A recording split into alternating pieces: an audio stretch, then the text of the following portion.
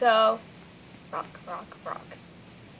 Gosh, woodchuck, rock chuck, what's the difference? Are they the same thing? One eats rocks, the other one eats wood.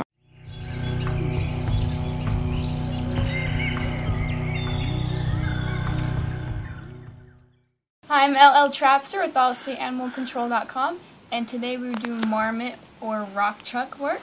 We have three separate holes where rock chuck is digging and it's going underneath the porch and it's living there. And what it's doing, it's, um, eating all their plants. As you can see, this whole area was filled with plants.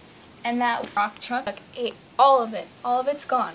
It's just a bunch of little stems popping up everywhere.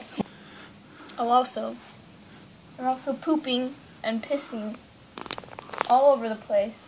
And so what we did, we just set some traps, and what happens is whether they go um, through it um, out from the hole or from outside into the hole, it'll still get caught. So here in this situation, we have a rock chuck that is digging from the outside and it is coming into this barn. And so what we did, we just set a trap right here and we disguised it with this hay. So there's only one opening it can go through pretty much. It Just sees a little trail and an opening and it goes right through it. Here we have another rock chuck area in this barn. And they're digging again from the outside and they're coming up into the barn. So if you can see it, we disguise the trap over this hole and we put some hay around it so there's only one opening it can go in and out of. And either way it'll still get caught.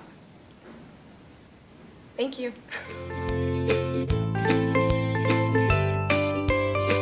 And it was living underneath, it's living underneath this porch right now. It's under here right now. I hope I'm not sitting on anything. He already stepped on one. what if I just... If you stick your wrist in there, it'll break your wrist. You should try it. Gosh, woodchuck, rock chuck, what's the difference? Are they the same thing? One eats rocks, the other one eats wood. A little bit. Okay, now there you go, right there, right What? there. The end.